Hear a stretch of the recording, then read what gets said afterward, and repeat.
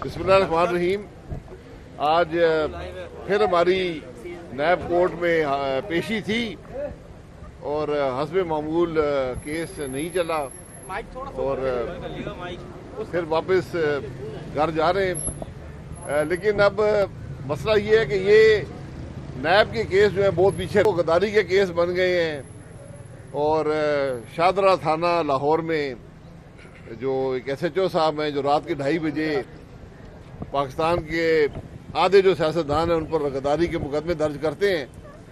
तो आजकल तो यही हुकूमत चल रही है।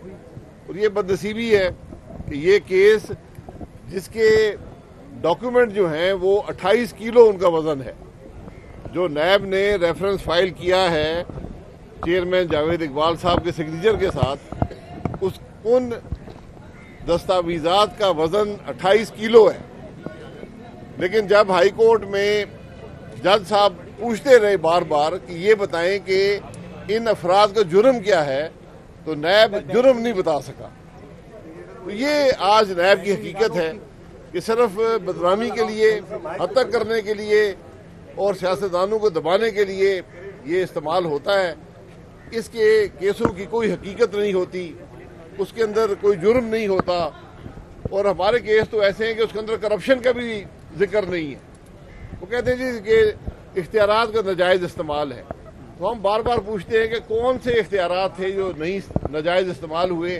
इसका जवाब अदालत में नहीं आता। तो ये बदनसीबी है कि आज एक इदारा है जिस पर हाई कोर्ट भी, सुप्रीम कोर्ट भी बार बार कहता है कि ये इदारा पॉलिटिकल इंजीनियरिंग कर रहा है। ये यक तरफा एहतसाब एहतसाब का अमल जो सो कॉल्ड एहतसाब है, वो इदारा कर रहा है। और आज पूरे मुल्क में तमाशा लगा हुआ है।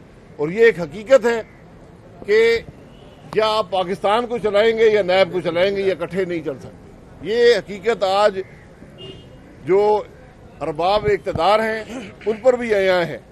ये पूरे मुल्क पर आया है। तो आज नैब हम तो भुगत रहे हैं, लेकिन बदनसीबी से सारा पाकिस्तान भुगत रहा है।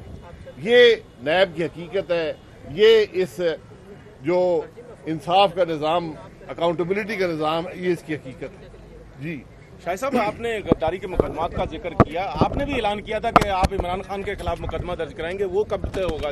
मैंने ये कहा था कि एक एसएचओ है जो ढाई बजे रात की इतना फ़र्ज़ शनास है कि रात के ढाई बजे पर्चे दर्ज कराता है। तो मैं भी एक पर्चा दर्ज कराना चाहता हूँ कि इस मुल्क में एक आदमी है इमरान खान नामी।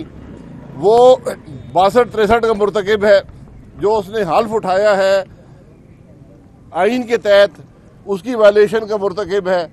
जो आदमी सरकारी अफसरों को बुलाकर ये कहे कि अपोजिशन पर पर्चे बनाओ, नाम ले लेकर बताए इस आदमी पर, इस आदमी पर, इस आदमी पर, और जो पार्लियामेंट्री पार्टी के लीडर के खिलाफ, कौमी असम्बली में ख्वाजा आसिफ के खिलाफ ये कहे कि इस पर आर्टिकल सिक्स का मुकदमा बनाओ।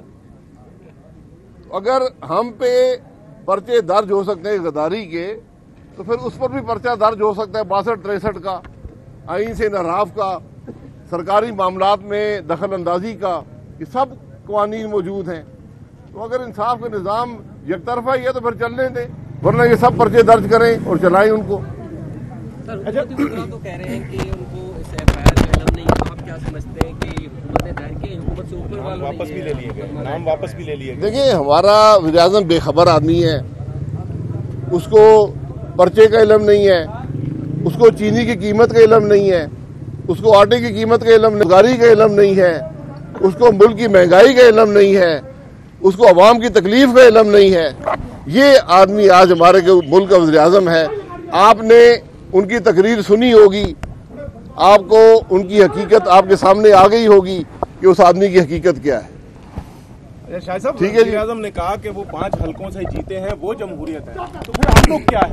और परवेज मुशरफ की हुकूमत क्या थी? जयालत की हुकूमत क्या थी? अयूब खान की हुकूमत क्या थी? जी यही तो मैं कह रहा हूँ कि वजी साहब का दिमागी मायना कराएँ। जो आदमी ये कहे कि मैं जमहूरियत हूँ मैं जमहूरियत हूँ उस आदमी के बारे में आप क्या कह सकते हैं? ये चार्ल्स डिगॉल ने कहा था, जो मुझे याद पड़ता है, साठ या पचास के अशरे में, उसने कहा था कि मैं स्टेट हूँ, कि मैं स्टेट हूँ। तो आज हमारा वजी अजम कहते हैं, जी, मैं जमहूरियत हूँ। उसको कहने की ज़रूरत इसलिए पेश आई कि जो शख्स जमहूरी अमल से नहीं आता, वो हमेशा दावे करता है कि मैं जमहूरी अमल से आया हूँ। जो जमहूरी अमल से आया हो, वो कभी ये बातें नहीं करता। जो परेशान हो वो कहता है फौज मेरे साथ है। फौज मुल्क का इदारा है आईनी तौर पर हमेशा हुकूमत के साथ होती है। वजी को ये बताने की ज़रूरत कभी पेश नहीं आनी चाहिए कि फौज उनके साथ है या नहीं है। आज 12 अक्टूबर है लगता है आप लोग 12 अक्टूबर भूल गए नहीं बारह अक्टूबर हम भूले नहीं है। सारे पाकिस्तान में प्रोग्राम है। हमने भी पिंडी में प्रोग्राम रखा था मुझे यहाँ आना पड़ा। आज कराची में भी इंशाल्लाह एक प्रोग्राम है बारह अक्टूबर के हवाले से। और हम भूल इसलिए नहीं सकते कि उस दिन भी गिरफ़्तार हुए थे। आज भी अदालतों में फिर रहे हैं। आज ये माशाल्लाह मुल्क के मामला आप देख ले कि 21 साल के बाद भी अदालतों के चक्कर ही लग रहे कि की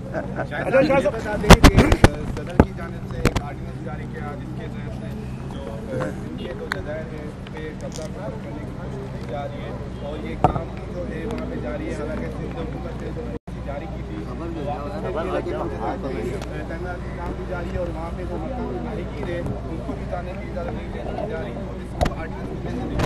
है हैं। अब जजीरे ही रह गए थे। अब जजीरे भी लूटने के चक्कर में हम। और लेकिन आ, सुना है कि वजी अजम बड़ा ईमानदार आदमी है। ऑर्डिनेंस ऑर्डिनेंस जारी हो रहे ऑर्डिनेंस जारी हो रहे जजीरे पे कब्जा करने के लिए।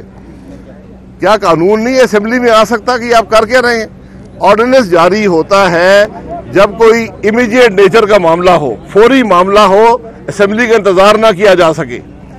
लेकिन इसे दूर रखें। अच्छा शाह साहब पीडीएम के जलसे शुरू हो रहे हैं। सोलह को गुजरावाला में अठारह को कराची में। फरमाइएगा कि कुछ लोग कहते हैं कि इस वक्त जो मीशत की सूरत हाल हुकूमत ने कर दी है, उसमें नए इलेक्शन बहुत ज़्यादा तबाह तो हल क्या है? अगर आपकी तहरीक कामयाब हो जाती है या कोई फार्मूला तय होता है तो क्या तय हो सकता है? क्या ये वज़न कर लें कि इस हुकूमत को रखना ज़्यादा तबाहकुन है या इलेक्शन कराना ज़्यादा तबाकुन है। इलेक्शन कभी तबाकुन नहीं होते। ऐसी इनकॉम्पिटेंट और करप्ट हुकूमत को रखना इसका एक लम्हा मुल्क पर भारी है। इनको जाना पड़ेगा अवाम इनको इंशाल्लाह घर भेजेंगे।